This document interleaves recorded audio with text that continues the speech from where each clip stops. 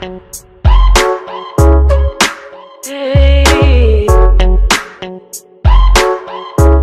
lo que mi gente de la Ganga TV?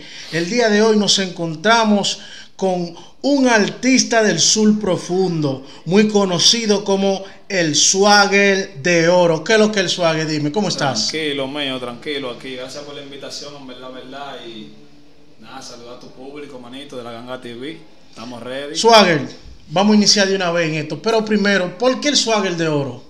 Bueno, mío, en verdad, verdad, ese no era el nombre mío. O ¿Cuál sea, es tu nombre? Artísticamente ese no era el nombre mío. Yo tenía lo que era eh, eh, Beto el Consciente. Tú Beto me el Consciente. sí, tú me dirías por qué el Consciente. Yo empecé la música escuchando al lápiz. Real. Yo, fanático fue el del lápiz. Dije que, ah, que hay un Bad Bunny. Soy mierda para mí, real. Ok, pero ¿por qué decides cambiarte a Swagger de Oro? Oye, ¿qué pasa? En, eso viene de, de. Yo tenía un, mi primer evento y me iba a meter una fiesta. O sea, me colé una fiesta ahí. Entonces, quien me pide la foto, el nombre para el flyer, me dice, mira, necesito tu nombre, una foto tuya, que vamos a una fiesta hoy y necesitamos meterte ahí para que tú, la gente te vaya conociendo porque tú la tienes.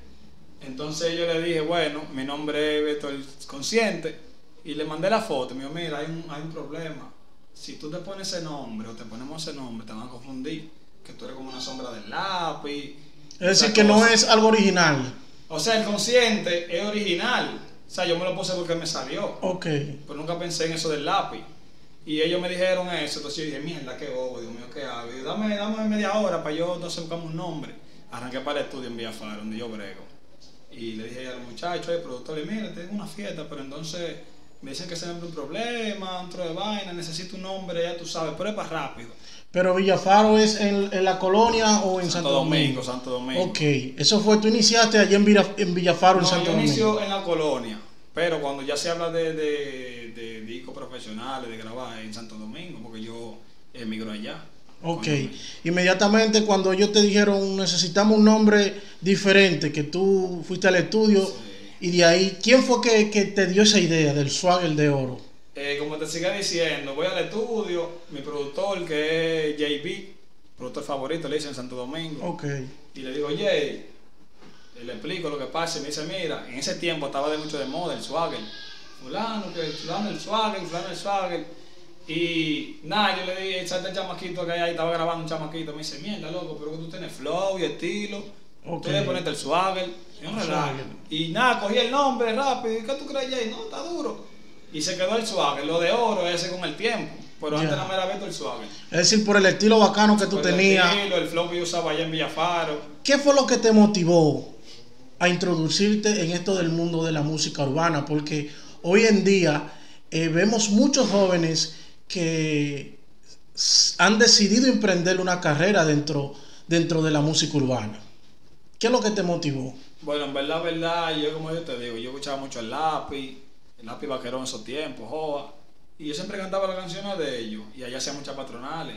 Y una vez, no sé quién fue que se le surgió, dije, como una competencia de freestyle y cosas así.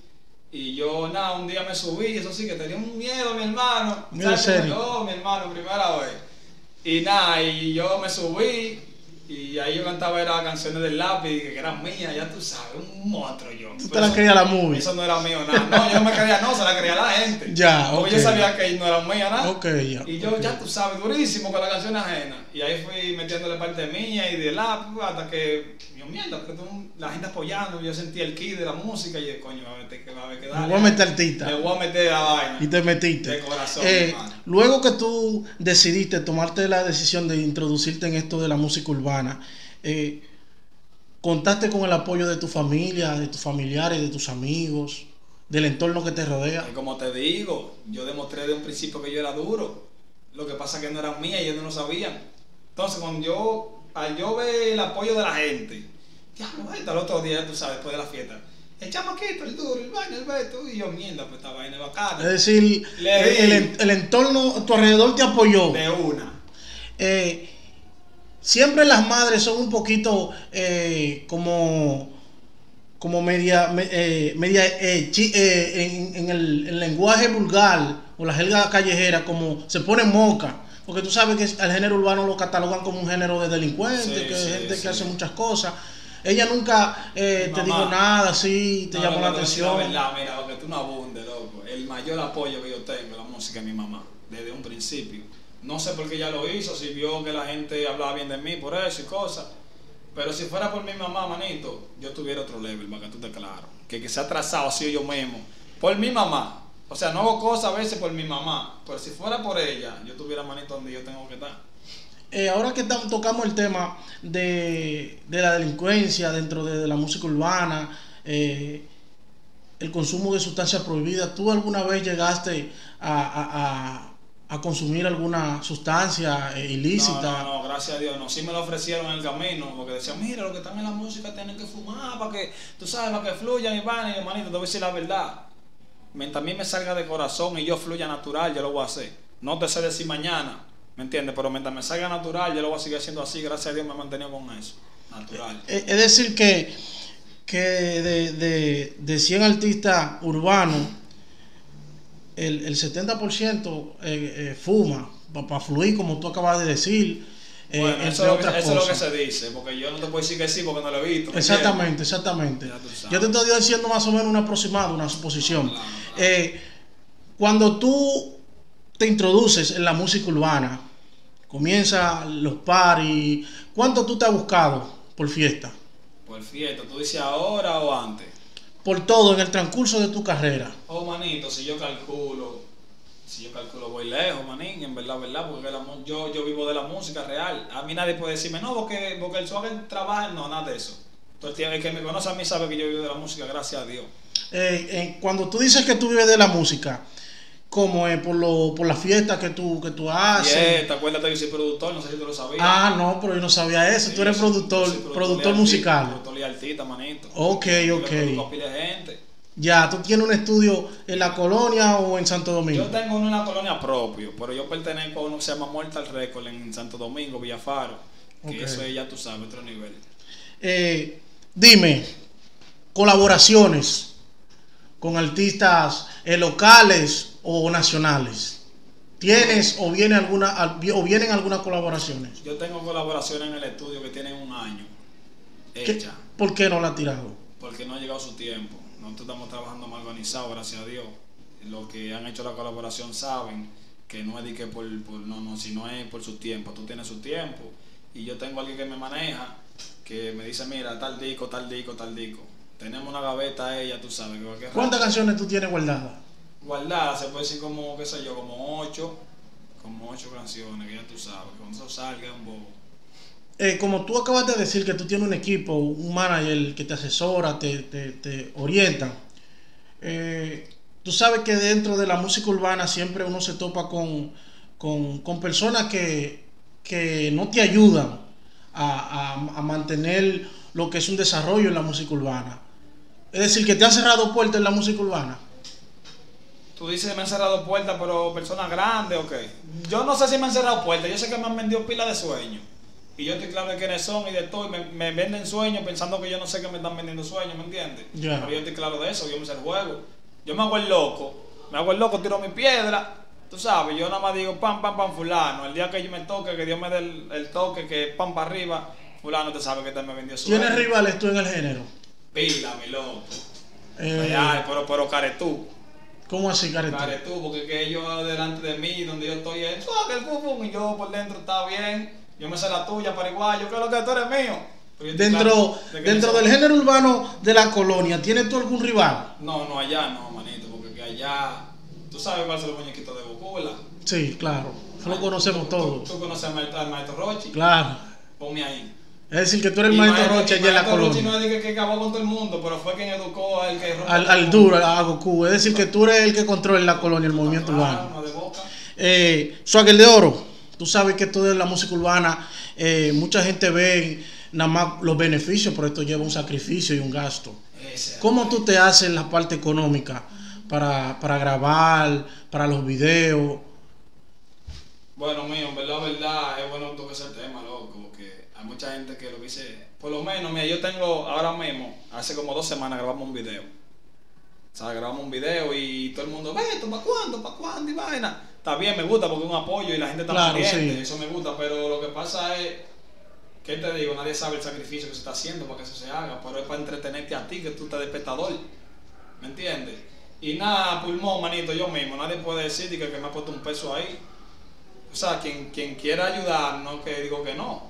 Claro, hasta pero ahora mismo hasta- tú- no, pulmón, manito, yo y mi equipo de trabajo, que gracias a Dios y gracias a ellos, estamos bregando local. ¿Cuántas personas componen tu equipo de trabajo? Bueno, yo hay un productor de video, de, bueno mencionarlo, número uno para mí, Fernando Phil, Fernando Fila allá en Santo Domingo. Santo Domingo. Eh, hay un par de bailarinas que, que están en el combo, ¿me entiendes? Que pertenecen a Swagger Music. Productor yo mismo, tengo el productor en Santo Domingo, JB. Qué sé yo, somos como 5 o 6 y dos artistas más que estamos asesorando ahora. Y cuando llegan eh, el efectivo, la fiesta, los paris, ¿cómo ustedes se reparten en el no, equipo? No hay, no hay repartición así como tú lo piensas, porque por lo menos si a mí me toca un evento, quien lo está haciendo soy yo. Ahora tú dices para el equipo. Sí, Ah, no, manito, somos una hermandad, ahí nadie pelea, todo el mundo está claro. salen bien, aunque sea poco, pero salen Claro, lo que conforme. hay, porque ellos saben que no estamos en millones todavía, pero vamos Claro. allá. Háblame de tu, eh, eh, de tu proyecto futurístico con, con colaboraciones, featuring. Oh, manito, yo tengo un par de featuring con gente de Santo Domingo, real. Gente de Los Minas, gente de, de, de Solao, Cancino. Yo tengo como, como cuatro temas con gente de Santo Domingo, diferentes barrios, que, que la aplican. Lo que, como te digo, están en gaveta. ¿Por qué? Porque, ¿Y tú no has pensado que como que meter los temas en gaveta así, cuatro temas, me dijiste ocho, creo, eh, tenerlo en gaveta, no, no te atrasaría un poquito dentro de la música urbana? Bueno, si tú lo piensas por un lado, ah, que me atrasa porque no han salido, ¿verdad? Pero yo puedo hacer un tema hoy y tirarlo en, en dos semanas y el tema es para el oyente nuevo. Se grabó en esos días o se sacó para esos días. Todos los temas que se engavetan cuando salen son nuevos. Son nuevos, claro, porque no lo he escuchado. Claro. Pero yo digo, ejemplo, sé como esa pausa, así, porque eh, mientras tú agarras esos temas y los guardas, es como una pausa, No, porque es una pausa si tú no estás, si tú no estás tirando temas. pero que el público, ejemplo, no esté escuchando los Por lo temas. menos yo hago una colaboración contigo, ¿verdad? La sí. Pero yo puedo hacer un tema con fulano, yo no te he engavetado para la Ah, ok, gente. ok. Es decir, que tú, aparte de esos temas, tú No, siempre te, mantienes soltando. Ok, Claro, ok. claro, manito. Eh, me acabas de decir que siempre tuviste el apoyo de tu mamá y tu papá. Mi papá, él me apoya, loco, pero no es de que, que, de que mierda, dale, que tú eres tú. No, no, no, sino él, bueno, por lo menos él va, hay gente que va a grabar el estudio y él se mete allá y escucha y, y cabecea la vaina y dice, está duro eso, esto y aquello, así él se va. No es un apoyo con mi mamá, que mi mamá, si tú vas a grabar allá, te da desayuno, comida y cena y de todo, como que tú eres hijo de ella. No diga eso, que de ahorita me mudo para allá. Es real, es real, manito. eh, Swagger de Oro. Vemos que en tu canal de YouTube, porque yo te investigué y chequeé tu red y todo. porque Por algo estoy yo aquí. Vemos en tu canal de YouTube que tiene eh, varios, varios temas con eh, unas cuantas reproducciones que se ven que son orgánicas. Sí, es real, decir, que, que te están dando un, apoyo full. Apoyo. Eh, tú ahí hay- el último video creo que fue, fue hace siete años. No, no, perdón, el, el primero. El primer video sí. fue hace siete años. Eh, ¿Cómo tú te manejas con las redes sociales? ¿Tiene alguna persona que te ayuda? Eh, No, manito, como una gente normal por ahora. Lo que tengo es un pan en Nueva York, que él hace, él está haciendo música, ¿me entiendes? Y es como tú dices, él me conoció por las redes, todavía no nos hemos visto en persona, pero él dijo, mierda, hermano, me escribió, coño, pero tú estás metiendo mano y se te ve que orgánico. Ahora mismo no todo el mundo que brega así, hay gente que, que invierte sus pesos en promociones Claro, y sí. suben. Y yo, gracias a Dios, manito, no he invertido nunca un peso para que un tema mío suene, ¿me entiendes? Y me dijo, coño, ¿y qué es lo que? Pero, ¿y tú, tú, red, Ivana? YouTube, y yo, ¿qué? ¿Tú no me estás brigando en YouTube? Me dice la plata, sí, manito. No, no, no, pues tú te ocurre la música, me dice.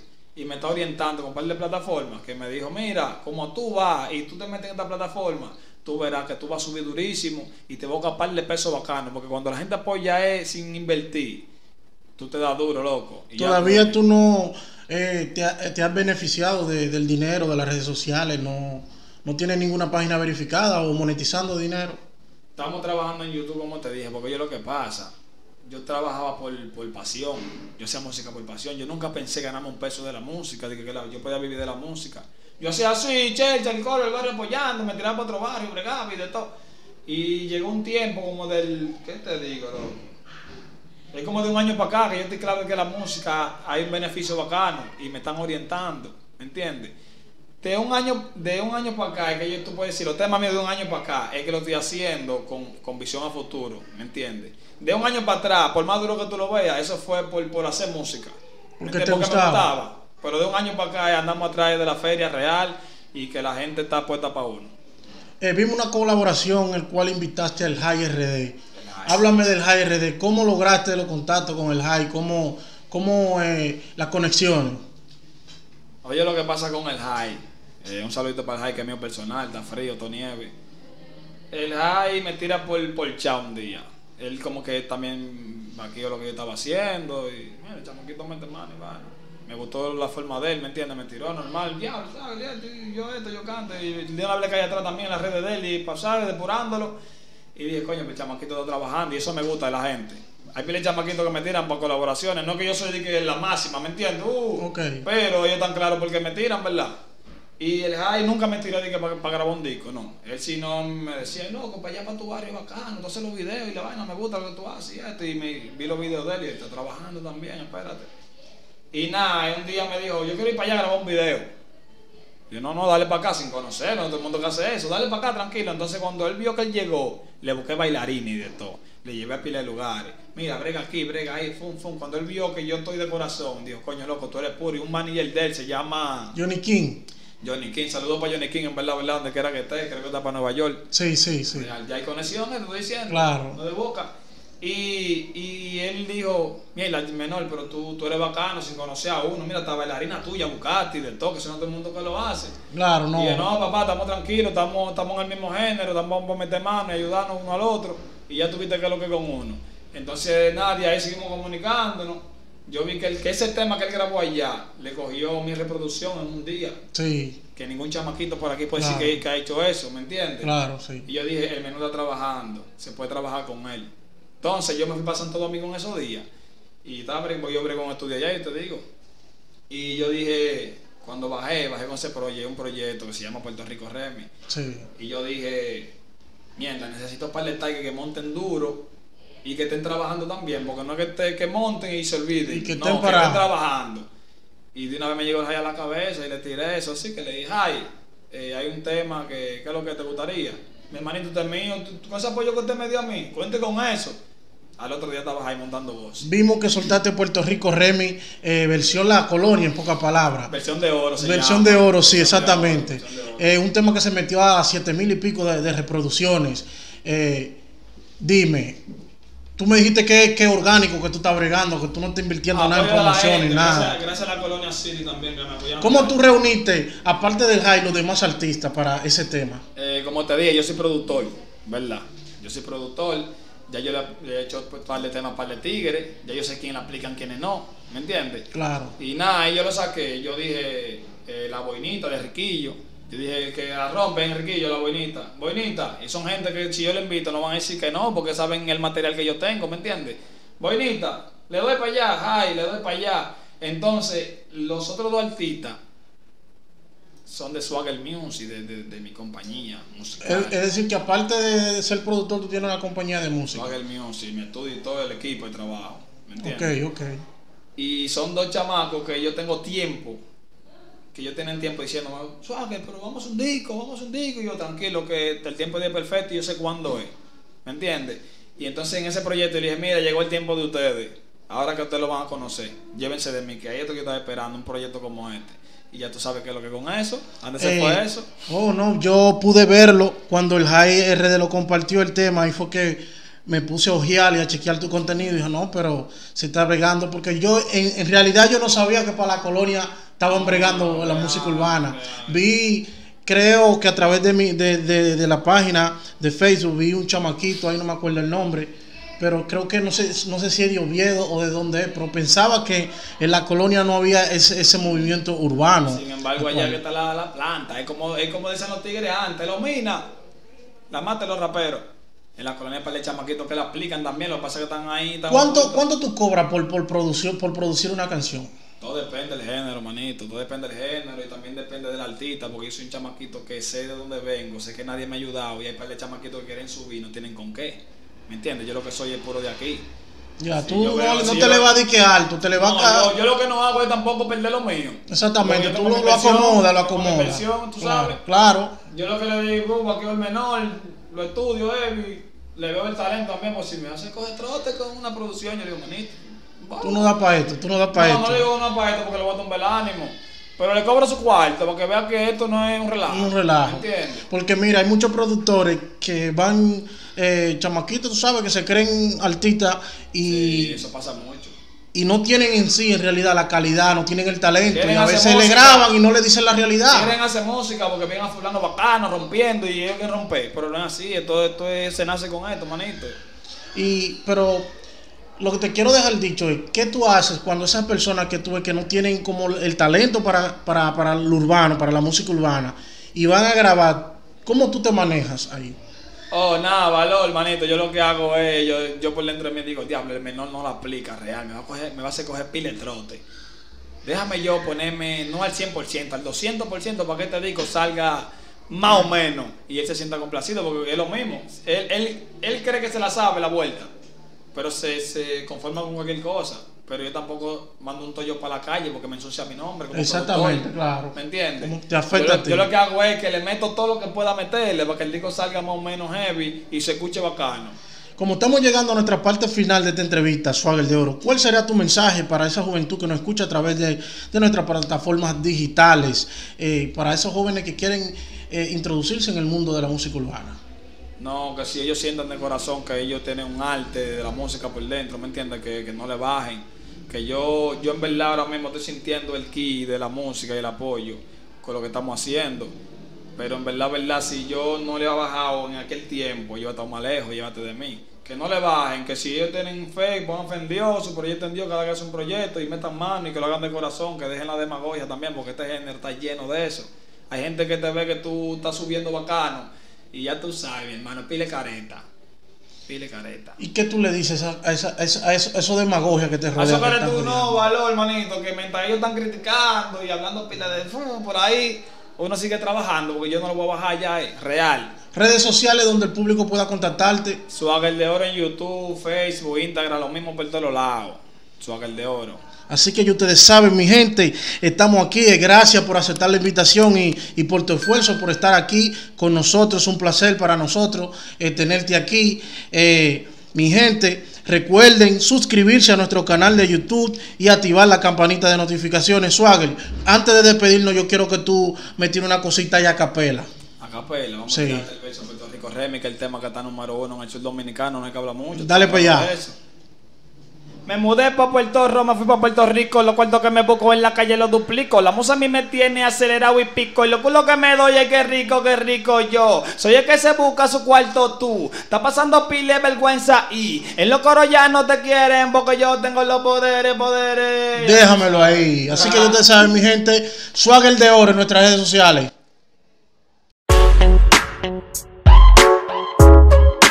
Hey.